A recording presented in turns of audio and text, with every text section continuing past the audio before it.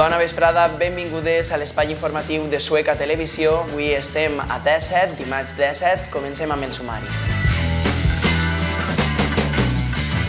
Una lectura de textos de dones escriptores a càrrec de Dolors Alberola va servir ahir dilluns per commemorar el Dia de les Dones Escriptores.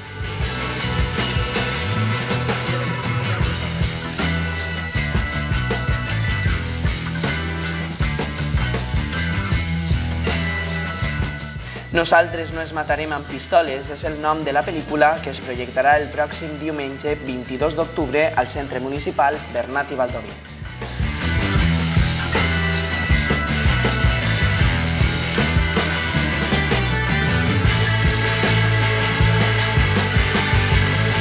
I ahir dilluns es va commemorar el Dia de les Dones Escriptores amb una lectura de textos escrits per dones. Ahir dilluns 16 d'octubre es va celebrar el Dia de les Escriptores. A la Biblioteca Pública es va realitzar la lectura de textos escrits per dones a càrrec de l'escriptora Dolors Alberola. Els textos que vaig a llegir són pues, referents a dones, o sigui, perquè estic ara actualment treballant en un llibre que va tot de dones de, a lo llarg de la història que han fet coses importants, però tots són poemes en valencià.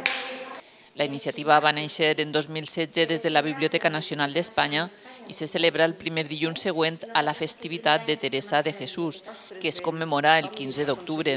Una volta vaig estar fent uns estudis de totes les antologies que hi havia en casa, en casa i era vergonyós. O sigui, podia haver a lo millor 30 o 40 homes i dos dones, tres dones, o sigui, era ridícul. En el programa La bona vida del dilluns els oferirem més informació d'aquest acte.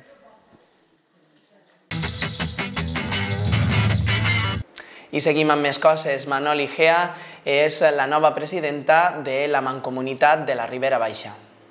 Manol Igea és la nova presidenta de la Mancomunitat de la Ribera Baixa, la que també és regidora de l'Ajuntament de Sueca, va ser escollida per majoria absoluta gràcies a la majoria d'esquerres aconseguida a les passades eleccions municipals a bona part dels municipis de la Ribera Baixa cada ajuntament té dos representants que són els que formen part de la mancomunitat. Entonces, per a ser triat president, és que formar part d'aquesta mancomunitat com a representant. Entonces, en este cas estàvem Dimas i jo, pues es va decidir que eh, jo fora la presidenta i el resto dels pobles pues, van recolzar el que jo representara la mancomunitat. A l'assemblea on va ser elegida dels 22 membres en dret a vot van assistir 19 i Egea va rebre 15 vots a favor i 4 en blanc.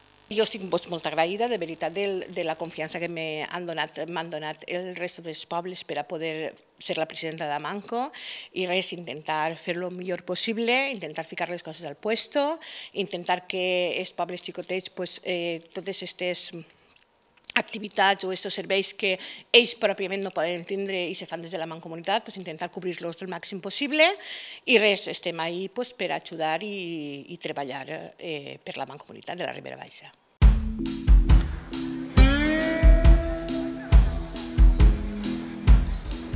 La setmana està presentant-se un poc insegura, amb pas de fronts desgastats que deixaran núvols i clars com a molt algun ruixar dèbil en la meitat nord del territori fins a demà dimecres, amb vent de ponent.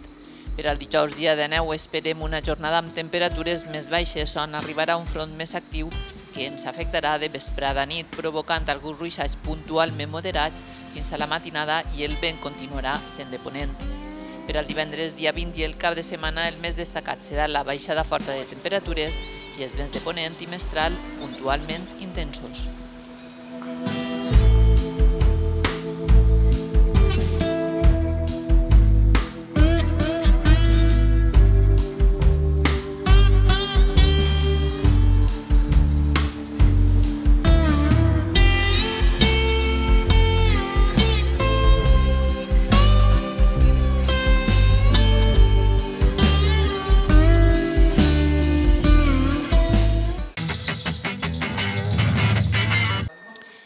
Matrimoni Valdoví Ortí ha fet una donació al Casino l'Agricultura d'un gens de grans dimensions i pintat a l'oli pel pintor valencià i copista José Cuadrado.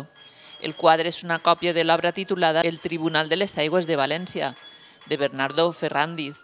L'obra de Ferrandiz encara avui és propietat de l'estat francès i es conserva al fons del Museu de les Belles Arts de Bordeus. La importància d'aquest quadre radica en que és la imatge més universal del Tribunal de les Aigües i Ferrandiz, un dels iniciadors de la pintura costumista de temàtica valenciana que va començar el 1860 a París, una carrera artística que el va convertir en el pintor espanyol més famós en actiu abans de l'arribada de Fortuny.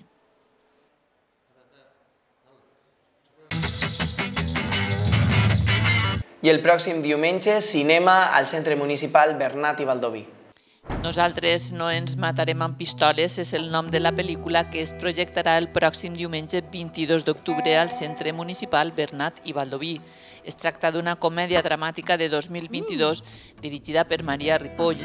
Està protagonitzada per Ingrid García Johnson, Elena Martín, Joe Manjón, Lorena López i Carlos Troya. La història relata el retrobament d'un grup d'amics i amigues després d'anys sense veure's. Serà a les 7 de la vesprada i les entrades estan ja disponibles per 3 euros en la plataforma Noticumi. També, com sempre, en taquilla una hora abans de començar la projecció. ¿Y a qué se debe tantas ganas de, de, juntarnos a todos y hacer una paella, Blanca? Que dejo Londres y me vengo al pueblo. Fuck it. Vinga, pa, Pauleta, carinyet, va, no ho empastres. Què ha passat? Que se ha cagado. ¿Y no te da mal rollo con...? Deseo que mis amigos, en vez de hacer que se preocupan por mí, que se preocupen por su propia mierda.